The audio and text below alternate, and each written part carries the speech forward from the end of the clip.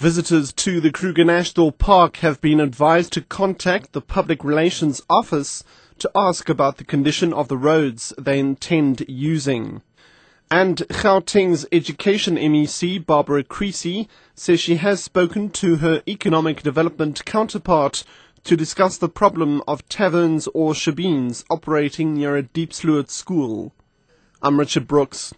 Visitors to the Kruger National Park have been advised to contact the Public Relations Office to ask about the condition of the roads they intend using.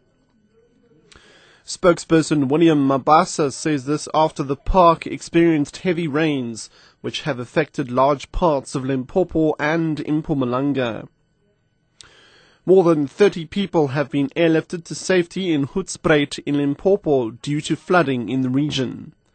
The bridge between the Air Force Base and the town has been washed away, and several roads are impassable.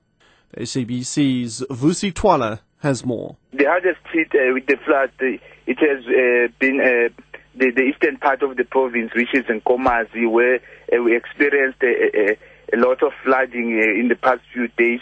We have seen uh, uh, learners struggling to pass bridges to go to school, mm. and uh, we've also noticed uh, that uh, the, the Kruger National Park has also been uh, one of the hardest hit because some roads and bridges were also impassable. Gauteng's Education MEC Barbara Creecy says she has spoken to her economic development counterpart to discuss the problem of taverns or shebeens operating near a Diepsloot school. The newly built Zenzele school was opened yesterday, but it's surrounded by several shebeens, although it's against the law to sell liquor within 500 meters of the school.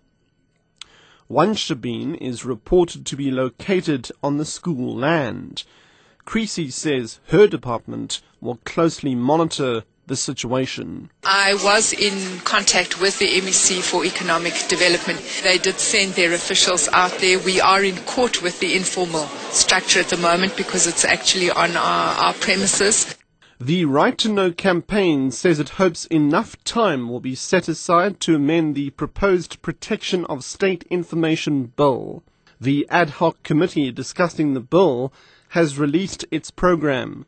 It includes splitting up the 15 member committee to reach as many people as possible.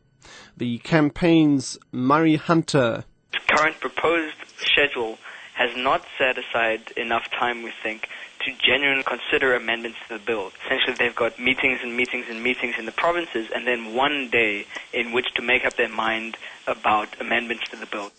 A protest by leading internet sites has prompted senior members of the US Congress to withdraw their support for proposed laws against online piracy. They say there is now a lack of consensus. Wikipedia, the online encyclopedia, closed its English language pages for 24 hours in protest at the matter. About a thousand protesters gathered in New York. One of them had this to say. I think it sends the wrong signal to give the government the ability to shut down websites. The web should be a free medium that promotes democracy around the world. When America is trying to convince China and Iran that they shouldn't be shutting down the web, we shouldn't be setting a bad example.